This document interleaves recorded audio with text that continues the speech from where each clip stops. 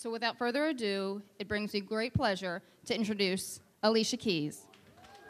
Американская певица Алиша Кис стала очередной знаменитостью, которой довелось посмотреть на себя со стороны. Она приняла участие в открытии своей восковой копии в музее Мадам Тюссо в Нью-Йорке. Что обычно говорят при виде себя увековеченного в воске? Wow, I'm so excited. Не знаю, что и сказать. It's Это so что-то нереальное, глазам своим не верю. У художников музея ушло три месяца на точное воссоздание стиля, цвета глаз звезды и ее осанки. Восковая Алиша одета в копию костюма, который был на певице в клипе Empire State of Mind. Эта запись принесла коренной жительнице Нью-Йорка не одну премию Грэмми. Это тот самый монументальный образ. Все сделано просто безупречно, all шикарно. Презентация восковой фигуры совпала с десятилетним юбилеем выхода первого альбома «Кис». К этому дню приурочено и переиздание этого альбома.